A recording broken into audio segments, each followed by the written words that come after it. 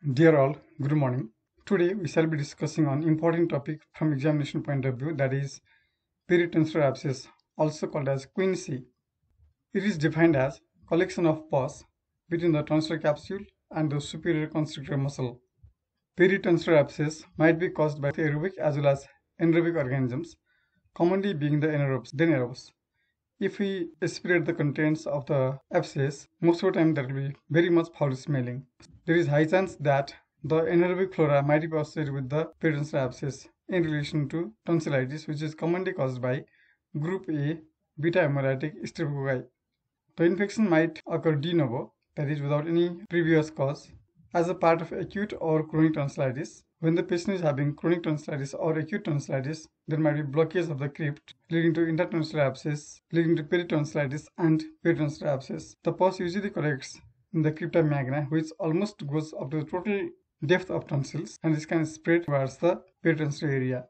The third important cause is abscess of Weber's salivary gland in the supratonsillar fossa that leads to quinsy. The supratonsillar fossa contains some of the minor salivary glands. You can see minor salivary gland here, minor salivary glands. Especially the Weber's gland, they help to clear the peritonsillar area.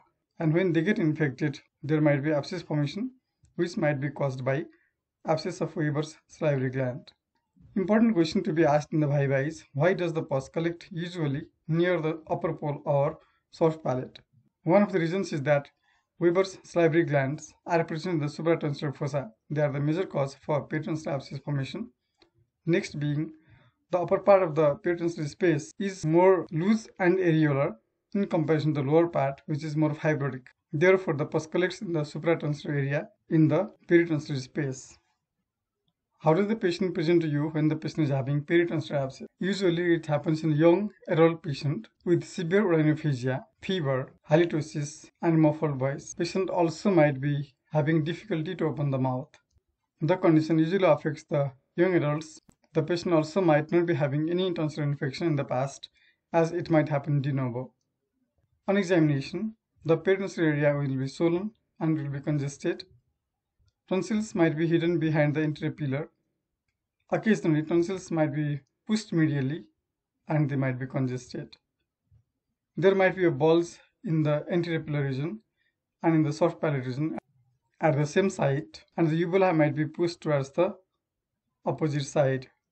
The jugulodigastric lymph nodes are enlarged and tender. Patient might have difficulty to open the mouth, that is called trismus, and sometimes when it happens in children, there might be torticollis. The children cannot turn the neck towards the opposite side. Peritonsillar abscess is usually a unilateral condition, so the patient has unilateral complaints in the throat.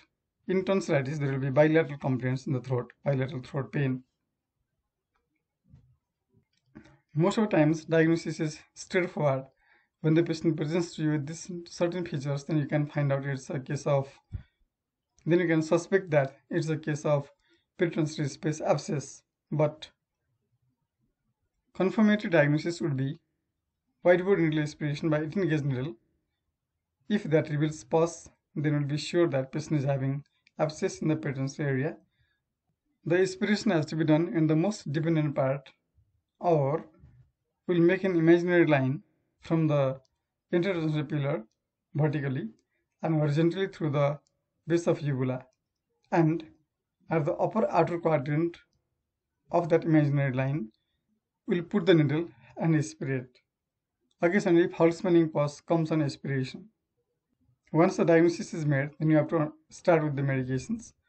Medical treatment with urgent admission, IV fluids, IV antibiotics covering both gram-positive, negative and anaerobes to be given. Ceftriaxone and ornidazole are commonly used antibiotics.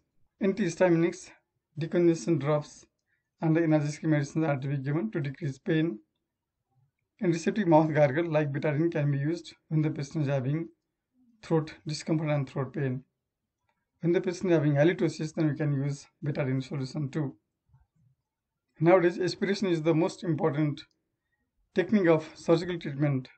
In most of the studies, it has been found that aspiration of pus with the 18 gauge is equally effective as incision and drainage but occasionally the pus has to be drained. The pus can be drained by incision and drainage. The incision is made with 11 blade or Thelineus peritonsillar abscess drainage forceps.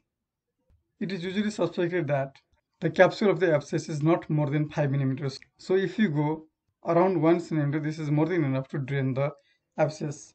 Therefore, take a number 11 blade and mark at 1 cm from its tip and apply the tape there so that we will not go beyond that level. Or in case of peritonsillar abscess drainage forceps, the forceps are already pointed and there is a and there is a mark at around 1 centimeter. So we will not go beyond 1 centimeter.